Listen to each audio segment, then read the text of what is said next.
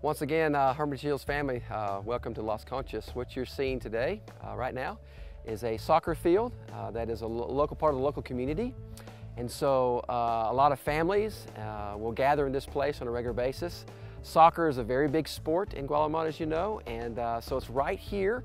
And where I'm standing is just right across the street. We're just a few hundred feet uh, from where the property is, uh, where we're building the church and building the development center.